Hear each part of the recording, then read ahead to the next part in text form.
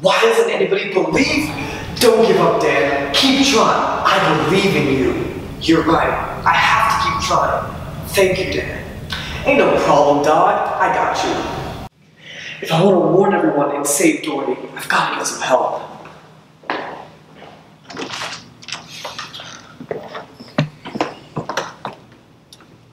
We heard you could use some help. That's what I'm saying, man. I mean, I can feel her presence here. Look, there she is! Oh, I see her!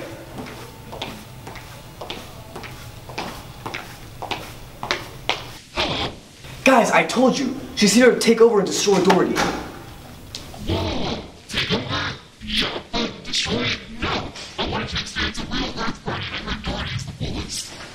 Hold on, I'm getting a call real quick. Hello? Hey, we just got out of Narnia. Do you guys still need us? Yeah, don't worry about it, guys. We don't need you. Oh, cool. You guys don't need us? We'll just meet you there.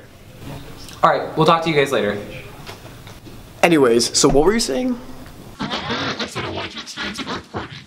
Oh, well, if you're looking to party, then you came to the right place. We're having a rally soon, and we'd be honored if you'd host it with us.